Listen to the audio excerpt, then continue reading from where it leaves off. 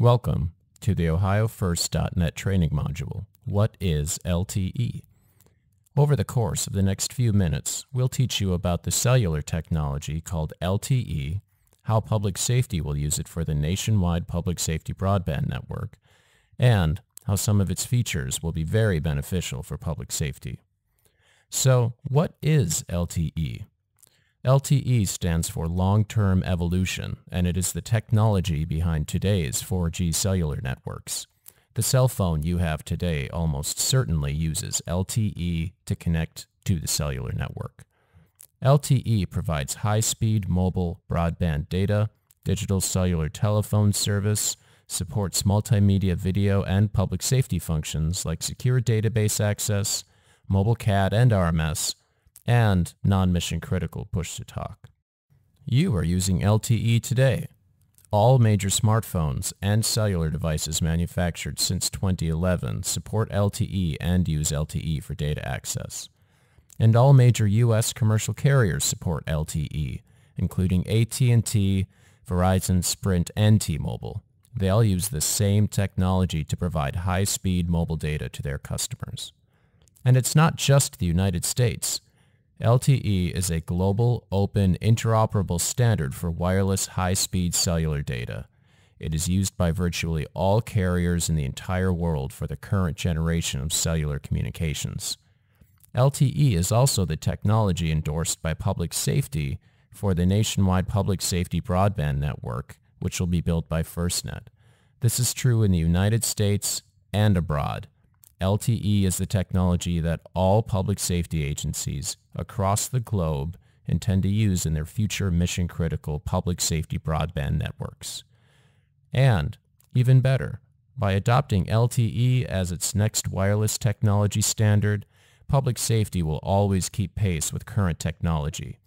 LTE is the current version and standards developed by the organization called the Third Generation Partnership Project, or 3GPP, Approximately every two years, 3GPP releases a new version of their standards. LTE just represents the current version of these standards. This means that by adopting LTE for FirstNet and the nationwide public safety broadband network, public safety is already prepared for 4G and 5G in the future.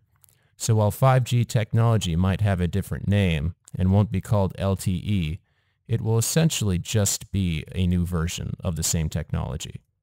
So what does an LTE network look like in the real world? An LTE network has four major components or subsystems. First is the core network, which is the brains of the network. It consists of servers and gateways that control access, quality of service, billing, and network policies, and the core provides access to the internet and multimedia services like telephone calls. Second is the radio access network.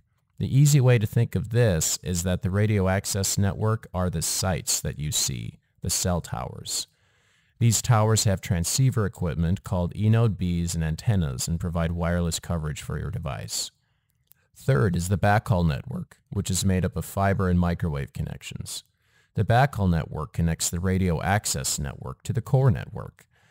The backhaul network represents the roadways where the data gets from you and your device back to the core network so you can access the network, make telephone calls, and access other network services. Last but not least is the user equipment, which consists of cell phones, mobile routers, and other devices used by individuals. Your cell phone would be considered user equipment. The user equipment connects directly to the radio access network, this is the subsystem you are probably most familiar with because your cell phone is a piece of user equipment. LTE has many features and capabilities, but there are four aspects to the LTE-based nationwide public safety broadband network that will really be very beneficial to public safety. These four features are exclusive spectrum, high-speed data, priority and preemption, and the self-organizing network, or SON. FirstNet, who is responsible for deploying the nationwide public safety broadband network, has access to exclusive frequencies that are not shared with the general public or other users outside of public safety. This is a really big deal and one of the main reasons that the service will be useful for public safety. The frequencies allocated to FirstNet and the nationwide public safety broadband network are in the 700 megahertz range. These are the same frequencies that were previously used for broadcast television before the digital TV transition a few years ago.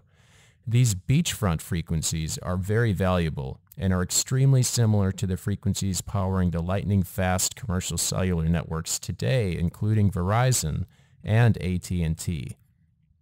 As you can see, however, the frequencies for FirstNet and the nationwide public safety broadband network are completely separate from the frequencies for major carrier networks. This means that during a major disaster, when commercial networks get overloaded and fail, first responders will have their own frequencies for mission-critical communications.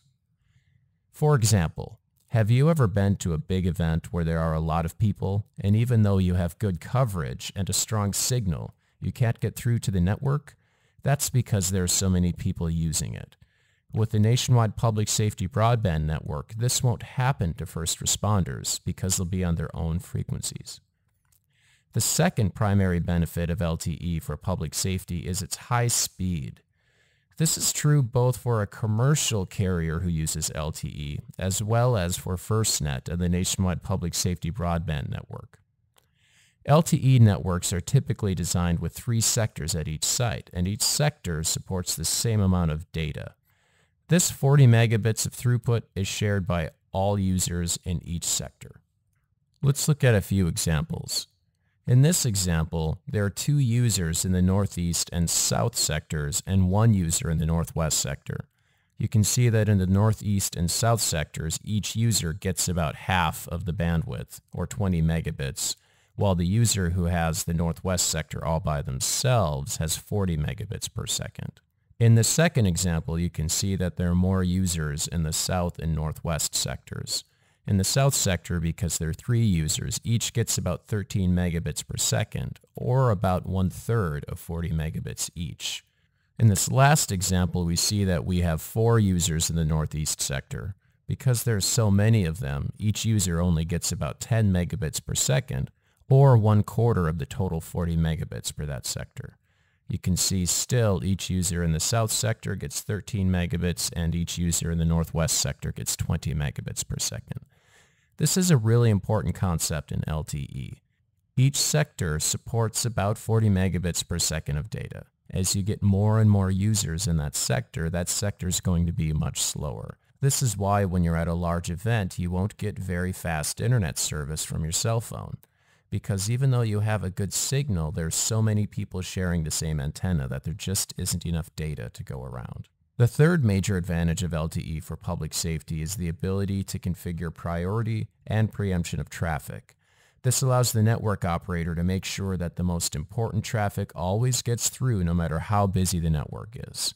This example shows the network assigning the same level of priority to four users at the same site because they all have the same level of priority, priority 7, they're each going to get 10 megabits per second for their traffic.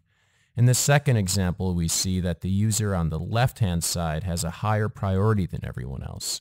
So everyone else gets a lower speed at 8 megabits per second, while our one user at priority 2 gets twice as much throughput at 16 megabits per second. This is an important concept in public safety because going into the future, public safety agencies will be able to determine who and what deserves higher priority and should get more data access than other users or applications. In this last example, we're showing preemption.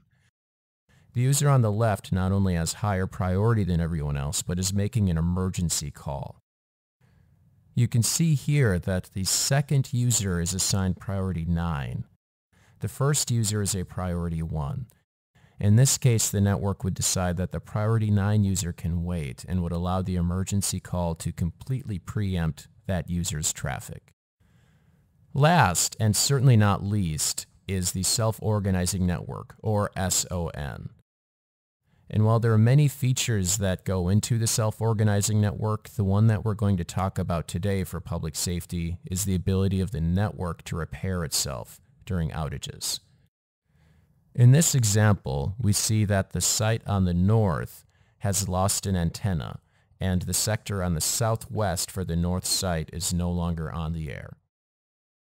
In a traditional network, such as a trunked radio system, this area would simply have an outage. You would have no service there. But LTE networks can be set up to accommodate for those outages dynamically and on the fly.